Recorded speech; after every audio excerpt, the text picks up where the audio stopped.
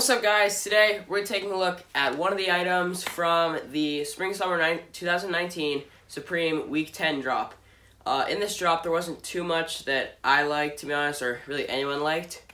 But I did pick up the Highland jacket which uh, I think is a really cool jacket. It's kind of a bulkier jacket that you can wear kind of for colder days and uh, maybe for rainy days. I hope it's waterproof which would be pretty nice to have on the jacket.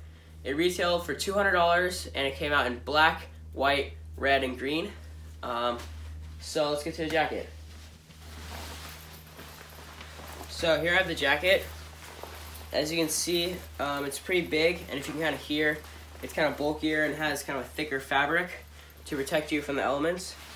On the inside, there's this mesh um, synthetic material that uh, that like goes against your body. And on this side, of the inside, there's a secret pouch right here. So if you want to put uh, maybe your wallet or anything important in there that you might not, that you wouldn't lose, that would be a good spot. Uh, so let me put it on really quick. So it feels really comfortable and it's not too heavy, but it's also, um, it'd be pretty warm on a colder day. Uh, to zip it up, or to close it I guess, there's a zipper right here, and there's also buttons lining that up. So uh, that can kind of close it up, and kind of a heavier duty close. So I honestly think it might be a rain jacket because with the buttons, that makes sure that no water would get through. Um, down here, there are two pockets that have buttons. On the left side, it says Supreme in yellow. And that's kind of a cool feature just to make it kind of stand out and show that you're wearing Supreme. And then the same pouch on the other side uh, no button on that one. And then uh, when you get to the hood, so the hood says Supreme on it, which is pretty cool, in white lettering, which really makes it stand out, um, besides just the small logo. On the other hoodies, I don't know what color that Supreme is. I'm assuming probably for the white one at least, it was uh, black. Probably the other ones might have been white, but just so it stands out.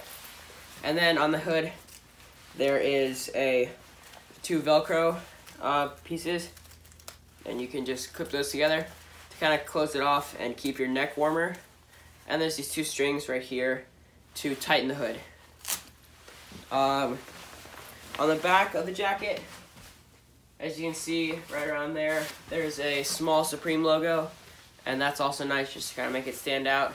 And the cool thing about this jacket is that you can hide the hood to make it sort of a bomber jacket so the way you do that is on the inside right here, or kind of on the outside, there's this little cuff, and you can fold the hood up. And so this flap opens up, and you can put the hood in there. I think that's really cool because you can transform the jacket into from a hoodie to kind of a bomber jacket. But I really like this jacket. I think a lot of people, uh, it's kind of more slept on item. It sold out pretty fast, but it's not going to be one of Supreme's uh, famous items like a box logo or something. But I think it's a great item. It's pretty pricey, but it'll last you a while, and it's pretty comfy. So, make sure to like and subscribe, and we'll see you guys next time. Hopefully, um, in the week 11 drop, I can get some good stuff to show you guys. See ya.